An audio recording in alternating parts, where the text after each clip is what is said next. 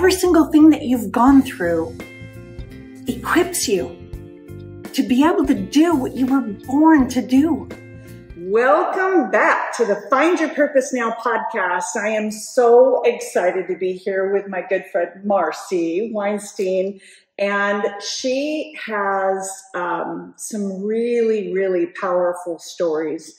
And uh, I'm hoping that she'll share some of those things today. So, Marcy, I know that you're living your purpose and you've had lots of different life assignments all the way along. But um, I hope that you'll share with our viewers and listeners your best advice for finding and living our purpose? You know, sometimes it's it's something that you read that hits you, and then you have to act upon it. So it really, I think it's about first of all, if you find if you Nikolai Tesla supposedly had found unlimited energy. Okay. Whether that was true or not, I don't know. Yeah, we never got to see it. We never got the benefit of it. But what you really think about it, God instilled in all of us endless energy, and it's called positive thinking. Oh. So that is the pos- that is the thing that gives you positive forever energy. And then if you can mix that with um, humor, which is you know laughter is the medicine of life. So then that cures all the ails you. And then if you can add if you can add giving, then that refills your soul. Or maybe creates it. You know who knows. Yeah. So I think it's really just finding that if you can let all those things be true to yourself every day and be grateful, then you get to live a purpose that, that spills over. So it's like endless. Oh, I love that. Oh my gosh. I mean, That's, you said we have a fly. you said an awful lot right there, and I think we could unpack that for a couple of hours. But I want you to share some of your story because, okay, if anybody saw you today and they don't know anything about you, and they see you, and they see where you live, and beautiful Newport Coast, and I mean, your life just looks so perfect. Like you've never ever had a bad day. Maybe the worst day was walking from, you know, the car into the, you know, the, the Fashion Island shop or whatever. And maybe it rained on your hair or whatever. so, but I know you've had some bad days. I like the rain, so that's a good thing too. See, it's all you look you at. Like everything. Well, I think that that's a lot of attitudes, everything, right? So a lot of it's how you look at everything, and so I really believe that that's true. I positively am going to try to get this fly away from here.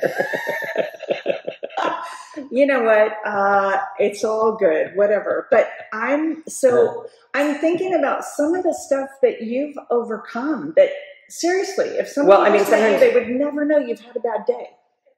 And yet, you know, I look at all the people around me and I think they humble me. So, you know, like I can say I had this time in my life where I was burned really badly and and it was a shocking thing. My God, you know, you're like one minute this way and one minute literally almost 60% second and third degree burn. So you just, your whole exterior changes, your whole, your whole body having to fight again to walk, to live, to breathe, to, you know, come back to earth, all that, you know, because you are at one moment passing through the light, um, or at least I did. And so I think when you're, when you come, when you back here, you say, wow, instead of looking at what's, you know, the glass half, instead of saying I'm over half burned, uh, you know, there's almost half left It isn't. Unfortunately, it's on my stomach, and that's where we don't show that anymore. We don't go there. We're not doing the two-piece bikinis. No. no, we don't go yeah, there. well, those, for a lot of us, right? And that's another thing. Just don't look at that part, you know. Don't, don't focus on that. We're, we're, I'm, my, I'm 66 in two weeks. I don't need to look at that. And, you know, I need to just be healthy and happy. And that comes in a lot of forms, but mostly it comes in attitude. I love that. And okay. giving and giving. Okay. And you're very, very giving, very generous, very positive. All those things that you said. Um, think for a bit about um, our audience. Okay. So the people who I connect with very, very often come from hard places. Yes. Right. And, and some of them are still there. You know, right. they're still living in the midst of domestic violence, violent relationships, um, homelessness or unstable housing, substance abuse disorder. Right. Now it's after me. Um, you know, just depression, despair, all of these negative things. And I think it would be really inspiring. I know it was inspiring for me when you told me the story of the man you were with when you went through that burn Yeah. And what he did and what you said.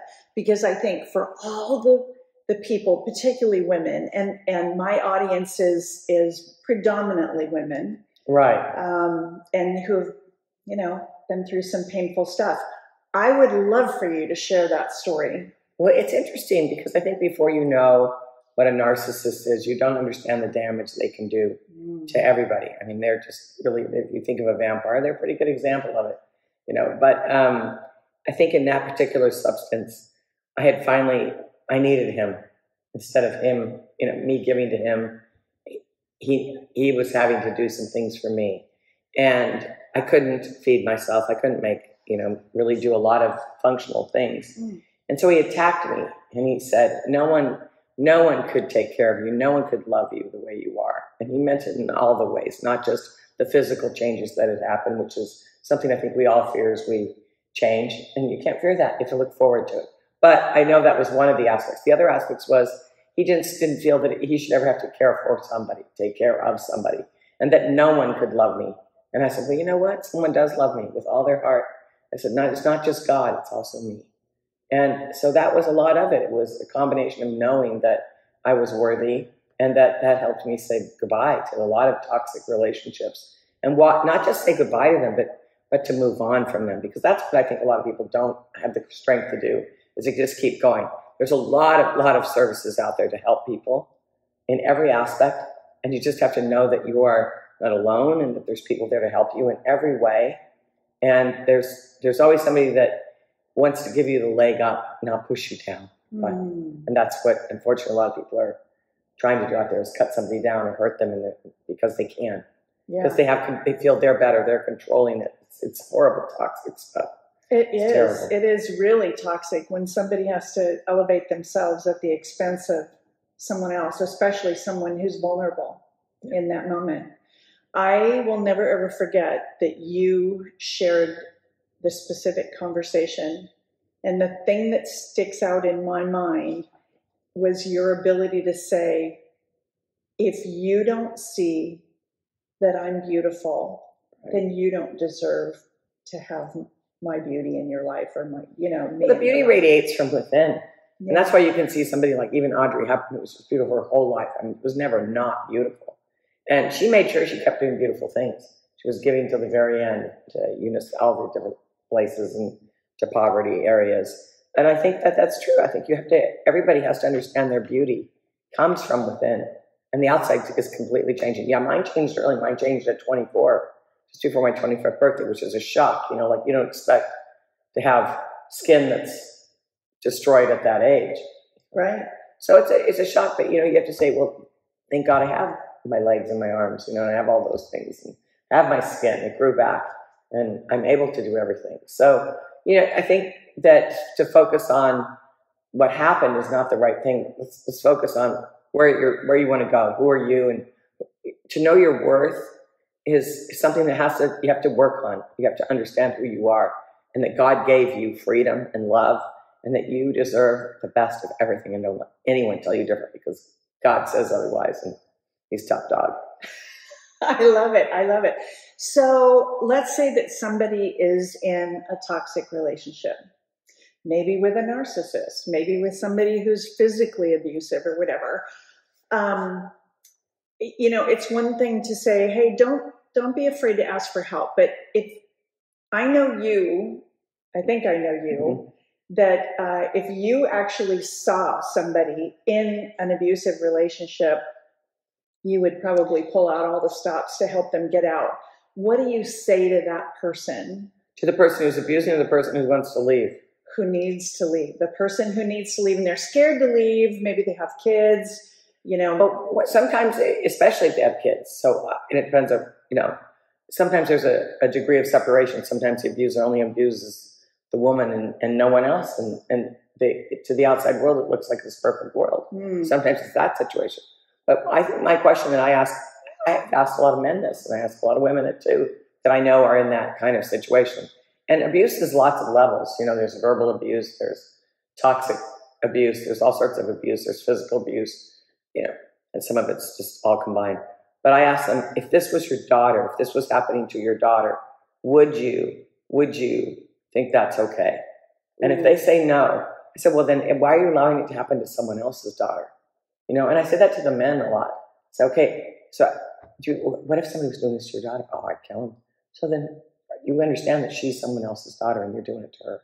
If you can look at it as a daughter, it sometimes helps, I think helps both sides realize that they have to protect that what God gave us. There's still a little kid in there. There's still a little beautiful girl in there.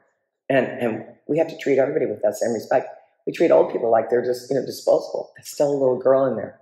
Still a little girl in there. Yeah. And if everyone could just look at it that way, at least you hope, although there's some really sick, sick people in the world that want to abuse that level as well. I can't even understand that at all. And I, you know, I try to give money towards those things and try to give help to those things, but I, I, I don't know how to, I, I, I don't know how to help that because it's so ugly to me. I can't, um, I, I understand it's happening, Yeah. but it's something that I almost feel I have to stay a degree away from because it's so, I, give so much respect to people who work in that arena Oh. with the children. goodness, I mean, and I know it's all true. Yeah. And the people that are blind to it are, need to wake up. Yeah. Isn't that the truth? Well, I think people are starting to wake up. Well, Sound of Freedom was great. Uh, we met some of the people that worked on that show, and they were really positive, and you know all these things to just to just really let people see what's really going on. I think Mhm. your program has been phenomenal, and it connects to other programs, and so and then those those those strong people that then get out of those situations, then they help other people. Exactly. I So- think, you know, that's the whole thing with successful survivors, uh, with our Successful Survivors Foundation, and just the times that I've connected with people like you. You're a successful survivor. And when people have been through hard things, and, you know, everybody's pain is different, everybody's suffering is, you know, it's a different story, but suffering is suffering, pain is pain. Um, but I don't think I've ever one time met a survivor who wasn't willing to help others. I think we just automatically want to do that, right? Well, you understand what what had you how you got to be helped, how you got out of their, your hellhole, you know, and yay by the you know, the whole God and a lot of other people probably help Yeah. you out. But um, I don't know. I think that we just have to understand that we're worth it, and that's that's the message I would give out there is to say everybody's worth it. Yeah. Don't don't sell yourself short. yeah. Understand your value. You know, um, understand your value. That's another thing that we could unpack for a long time because, you know, the most vulnerable people to trafficking are are people who grew up in dysfunctional families, right? And they were either neglected, just ignored, you know, maybe maybe caregivers, parents, whoever were um, abusing drugs, maybe they were drunk, maybe they weren't there, and maybe it was a, a perfectly wonderful person who was working three jobs and just trying to put food on the table, but wasn't there. So it Right. doesn't have to be, you know, a really nefarious thing. Um, but you know, when you're raised in the kind of environment where nobody's looking you in the eyes and saying, you know what, you are really awesome, you're really amazing. Yeah. When you don't get that, um, we we tend to just believe that we're not. Yeah. We're not okay. We're not enough, and we don't matter because that's the evidence that we've seen in our life. But we don't have a lot of positivity in the shows around us and even the music around us and a lot of things. I mean, a lot, some areas do, but a lot of it's quite negative. Yeah. And I think that, um, so we have to try to resonate higher. You know, they say people actually heal when they have the sound of bees around them, the hum that bees are, Really? the octave that bees are in. Well, I think it's because it's a universal, you know, thriving hive. So we have to stay in a hive and thrive a little more and be good, connected. Oh, that's really good. So connecting with other people Well, connecting in, in whatever way. relationships. And understanding that it, you know, the trauma you went through physically may not be as hard as the trauma you go through emotionally, especially when you're trying to make sense out of nonsense, which you can't do. Right. But that's what it is with being a narcissist, is that you really, you really are, you're being lied to. Everything's being painted a different way, and you actually are in the relationship like crazy. Right. And, and, and, and you start questioning yourself. And again, you have to say, so do some jour- journaling, do some introspective things, get out to nature, get back to a church or group that helps you, get back to something that helps you with your root strength or whatever it is. It didn't matter if you grew up with it or not, you can find it. Mm-hmm. Yeah, you have to. You have to. You have to plant somewhere that's going to help you grow. Yeah, well, that's really good. So So it sounds. I grew up with good roots. Yeah. So, but that doesn't mean bad stuff doesn't happen. My next door neighbor tried to rape both my sister and I. oh my. So I mean, things happen. and He was the preacher's son. oh. So you never know. You Yeah. just don't know. So it doesn't have to be your fault in any way. It doesn't have to be. There was nothing really wrong with that family. It was just one sick man, one sick boy, and Yeah. who knows what happened to him? I don't really know. Mm, But it does nothing excuses it. I'm just saying we don't know the, the backstory on everything. That's right. So we're rather versus trying to make sense out of all that nonsense. Just move on and, and create your own better world. And I think that's what I kept doing was just saying, all right, that didn't work out. I'm not going to go crazy over it. I'm not going to try to figure it out till all insanity creates in my own head. I'm going to say, all right, everything has a time and a season, and let's move on. Yeah. And and always try to better yourself through that, and not think, not sell yourself so low. You know what, Marcy? I love that you just said that because um, I know that I wasted a lot of years trying to figure out why my mother didn't want me and kept two other kids, and why my father didn't want me, and why didn't he want to reconnect. And I kept trying to reconnect with, I mean, until I was maybe 41 or 42. And he did not want a relationship with me. And I kept trying, I kept trying, and I kept trying to figure it out. I love how you just said, quit trying to figure out stuff that can't be figured out. But it's really that you really, if you really try to get together with somebody who's not well, which is, of course, anything in the, I mean, they really ought to should, have named it Cluster F, but they named it Cluster B. You know, everything in there is the narcissistic behaviors, etc. Yeah. Everything that's goofy is in that category, and you can't make sense out of it. Right. And you can be in a relationship where you're thinking all the things are based on what you know and what you trust, but over here is a completely different story. And it's truly impossible to make it work. But what you have to do is understand your value to leave it. That's good. That's really good. And and so the dots that I'm connecting between some of the things that you're saying are it, finding good people to connect with, whether it's somebody at church or a group at church or a good friend or whoever. Um, if we can connect with people who have some anchor in reality, so that we're not constantly surrounded solely by people who are Right, gaslighting exactly. us Exactly. right because i mean i can i can see the scenario where if you're in a relationship with a narcissist or, First of all, they want to isolate you because they know that they don't, they don't want you to know what's going on. right right so and then the narcissist uh, or you know whatever it doesn't have to be doesn't have to have that label but there are a lot of crazy people i just you know Yeah. different flavors of crazy. Uh, but you know, they tend to they tend to surround themselves with people who sort of row in the same direction as their craziness. And so, if those are the only people around you, it it can make you kind of lose your bearings. Well, that's true. With, that's true. With, let's say you're hanging around with a bunch of people that do drugs and don't work and don't everything. I mean, the, the higher, you know, if you play tennis with somebody who's better, you end up getting better. You know, raise your level of the people you're hanging out with and what, the people that where you want to be. Oh, You know, that's really good. it's true. I mean, It is true. If you go to if you go to a, a place where everybody's giving and working uh, and trying to help feed the homeless or something, ninety percent of the people there are going to be good. Yeah. They're giving up a Sunday to feed people right. uh, you know, or they're trying to do good things in some category. So, you know, and then they take care of themselves. They find people that take care of themselves. Although you can find a lot of people that that's all they care about too when you look in that category. But you know, healthy comes in lots of ways, hmm lots of categories. Yeah. Oh, I love But that. heart healthy is probably what you need to find first in Mm. yourself and then in others, Yeah. because it spills over and it comes back. And Yeah. you know, I think that's why it's shaped that way, like a fountain. You know, Ooh, I never thought of it I didn't way. either. If you think about it, it makes sense. yeah, it does make sense. It does.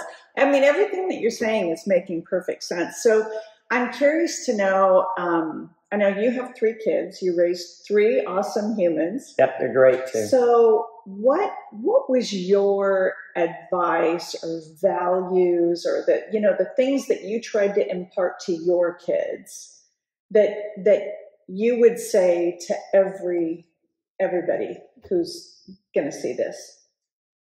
Oh. Uh, I think it was what I was told as a kid that you're responsible for your own happiness Ooh. and to understand that you have to find a way to happy on your own. Nobody gives it to you. Nobody provides it. Nobody provides your health. Nobody provides any of that for you. You're responsible for all those things yourself. So ownership of your own issues, which is a hard thing today to make happen. Ah, ownership of your own issues. Yeah. I mean, we can all enjoy the good. So at night, we would always have a high low. And the kids would run around and say all the things that were great and all the things that were bad. They could, and if they got five great things in their day, we all high five them. But you know, it was about really sharing what was good and bad, and it was ownership. So a lot of people want to hide what's bad in their life. Well, you, take ownership of that too. It doesn't have to be ownership of only positive things. Ownership is something to you know, saying I eat too much. That's ownership of it, you know, and then you try to do something about it, you know. But ownership has to have action. Yeah. So just I love that. So, so your kids grew up um, feeling comfortable hopefully empowered. and, and empowered, right? But they, but they were comfortable to say things that maybe were uncomfortable to say. This, Yes. this thing happened and I didn't like it, Right. or whatever. Right. But they didn't feel like they're going to get punished for saying something, or they're going to be You have to have door, ridiculed, yeah. or no. And, and also to be, be able to be themselves, you know, whatever they want to be. So, you know, and then they, they also did a lot of good works. I, I, I ended up raising my kids Jewish, which is interesting because I'm not Jewish. Um, but Rabbi Miller was amazing, and the whole Temple Bat Yahm was amazing. And part of what they made, part of what that whole com- community does is try to give back to the community. So they had to go through quite a bit where they did things. They, you know, serving at, uh, going to going to the uh, the Heritage Foundation over here and working in the ho- little hospital with all the people and making dog biscuits and going to feed homeless people and going to glean a field and just all, all sorts of things that we, you know, we've heard about and read in books, but does anybody do that? And their school had something that was called financial literacy. I mean, Wow, how about uh, that? I, I can tell you that most of my neighbors need that. I'm just kidding. No, no Well, no, I was thinking, right, no, but I know what you're saying. I mean, the, there there are people who have advanced degrees. It's not that they're not educated; they're very well educated, and yet there's like this element of I don't know. To me, it's kind of common sense that seems to be missing, and a lot But of we, we also had Crazy. chickens, and I taught them to cook, and you know, crazy. We had chickens in the garden, so they just had it like to me. To me, it felt more normal. We go to the grocery store and I let them look in there. How much money do we have? And we go, we don't have enough for that. We do we want to have this or we don't have that. Make choices, and you know, obviously they lived here, but they didn't really understand that for quite a while. And that part of it was really nice. And yeah. you know, to I didn't want someone. Like this it's hard to grow up here and keep it normal. Very hard. Ah, true. But you have. Well, as normal as you can. Well, I'm thinking about your Instagram name. Do you want to share that with the whole world? Oh, Pelican, Pelican Hillbilly. Pelican Yeah, that's because I am the Pelican Hillbilly. I love I'm it. usually, uh, you know, barefoot and in the kitchen. So, and I was pregnant a lot. and with chickens in the yard, and you're Yeah. probably the My daughter had a pig, Oh little my pig gosh. for a while. It was adorable. Yeah, Oh my it's gosh. too funny. What a- Rabbit, different Oh my things. gosh. Marcy's zoo over here. It was fun. It was a lot of fun. Uh. a lot of good memories. Yeah, Yeah, we just would make up games, and that's some of the best games we had. Were the ones we made up. Just fun. I love that. Yeah, my daughter, we here for COVID, and for her 25th birthday, she wanted to um, go around the world. So she decided, why doesn't, there were six of us here, why doesn't everybody pick a part of the house and pick a country and create a food, a story, a drink, and, and music from that country so we could travel around the world. And it was so fun. In the house. In the house. Everybody really went out of it. The pictures were great. Oh and it just was gosh. too much fun. So it was very fun. Yeah, I love that you you created that atmosphere for your kids, and you create that atmosphere for everybody. That you know, just for me, for your friends, for everybody, you create that atmosphere, and and you had um, multiple reasons in your life why you could have just rolled up like a roly poly bug and said, "No, the world is too hard. I'm not doing this anymore," and you didn't. Well, you know, I mean, if you think about that, the most precious thing we have in the world is life. And that none of us know how long that ticket is, how many days we have, or anything else. I really do believe it's why today is called the present, because it is a gift. And we better open it up and enjoy it every day. Yeah. So, you know, who knows about anything else, but I hope that I, everyone knows I, I, I enjoyed the present. everything. Yeah, I think we're clear on that. I love it. And Oh. and everybody around you gets that and feels it. Hope so. And it's a beautiful thing. Hope so. I hope that energy, which is the spillover, the endless energy, gives you, keeps you wanting. You know, my aunt was that way at 99. Oh, So it was fun to Good watch. My, my mom was that way, but she left a little too early at 86, but still it was great. My dad was always the consummate golfer and uh, lover of people and friends. Ah. fixed everything in the neighborhood. Oh my goodness. Everybody called on Clay. Wow. So it sounds to me like you got the best DNA from both sides of your. I felt like I was really blessed. We didn't have any money, but I never knew that, and I never felt that. You know, because I felt that we were really rich because my parents were around all the time. It's like you said, somebody could be working so hard doing three jobs. It's not their fault. They're just trying to survive. You know, we really should try to do some things that help that parent have a little more ability so they can actually enjoy their what how how they're much they're working hard to be with their child. Yeah, yeah, yeah. Well, that's another thing. I'm telling you, for another day, there's so much need Yeah, because so there's much. so many things wrong. You mentioned uh, the trafficking and and um, you know people who came from really rough childhoods are the number one target for Absolutely. traffickers, and and they go along. I mean, the, the when you've never heard anybody say. Oh, you're so cute. You're so beautiful. Right. Oh, I want to be with you. And, you know, well, then the first person who comes along and says those words, you're just like, oh, you know, and you Yeah. just fall like crazy and go along with it. And, and, uh, and it's, you know, it's just sad. And Well, that can happen in a relationship, but then you find out that person isn't that way. Whatever time you find out it's not that way, it's not what it wasn't as advertised. You know, return it. Return to sent the way. return to sender. Yeah. Yeah. Yeah. Cancel that order because you don't have to be there. And there's so many resources to get out of that. I mean, there are people that little kids and people that are trafficked and held in in kidnapped and in hostage situations, and they they don't have a choice except to try to survive. And I I, I, I hope all of them understand that how much I think that they're brave to do all that they have to do in those situations. Oh, yeah. But if you're not in that situation, if you have any ability to even get out of the house to go to the grocery store, you do not need to be in any kind of abusive relationship at all. There's plenty of play ways to get out of it, and you need to love yourself and get out of it. Yeah. It's not okay to do that to yourself because you're worth more. Yeah. You definitely oh, that's good. I love it. Okay. So in our last little bit here, do you have any final advice, wisdom that you want to share? And enjoy today. It's so beautiful. It's such a beautiful life. So the more you enjoy it, the more you will enjoy it. It's just true. Yeah. Yeah. That's true. All right. Well, Marcy, thank you so Thank much you. for Thank doing you. Good to this. see you, Rhonda. Oh, It's always good to see you. you. The things that you've been through have changed the way you see the world. They've qualified you to do what you were born to do and perfectly matched to do. Is there anything more important than finding and living the purpose for which you were born? I don't think so. I think that's the point.